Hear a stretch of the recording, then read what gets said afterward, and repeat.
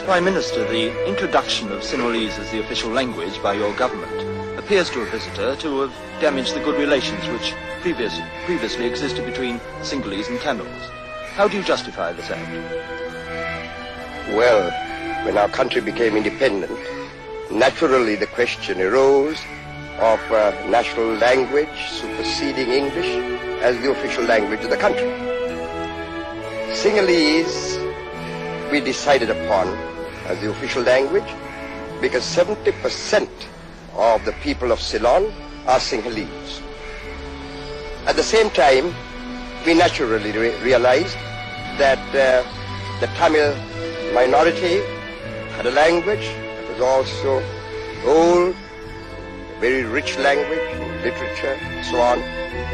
And therefore we decided also to give a reasonable use to the Tamil language as the language of a national minority. In such matters as education, examinations for the public service, correspondence, and so on. We feel that that is the fairest way in which the problem could have been settled.